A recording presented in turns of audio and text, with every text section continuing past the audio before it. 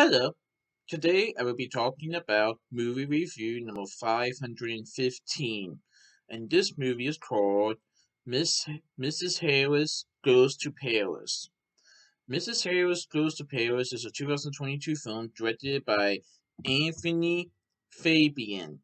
Anthony Fabian. This is from Focus Features Entertainment One Films. Um Superbe Films and Moonriver Content Films. This is a movie that I saw on July 30th, 2022 at AMC Newport on the Levee 20 in Newport, Newport, Kentucky. So this takes place in 1950s London, where a little cleaning lady falls madly in love with a couture Dior dress. Dior dress. And she decides she must have one of her own. After, after working to raise the funds to pursue her dream, she embarks on an adventure to Paris that will change not only her own outlook, but the very future of the House of Dior.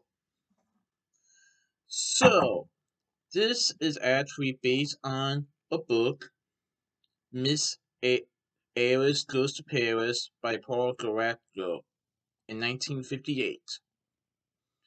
It's weird the book is called Mrs. Harris Goes to Paris without the H, but the movie is called Miss Harris Goes to Paris.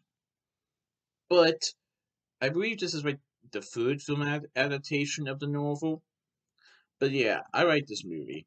So this stars Lesley Manville as Ada Harris, who dreams of having a Dior dress as one of her own and she decides that she has enough money to go to Paris to buy one.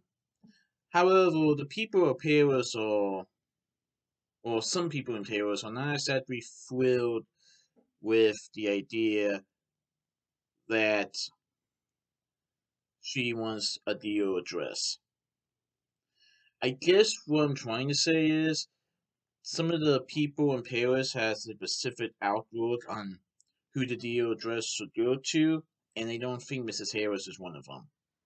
However, some people in Paris think that Mrs. Harris can help the future of the House of Dior. Let's just say there are some troubles within the company, but Mrs. Harris might be able to help them. And Mrs. Harris realizes that life in Paris is definitely different than what it was in London. And I and I really enjoyed this movie. It's right following her own dreams of purchasing a Dior dress in Paris, and it does go rocky at first, and a little bit during the movie, but I really like how the film explores the fact that she is so determined to follow her dreams as much as she can and she's not willing to give up.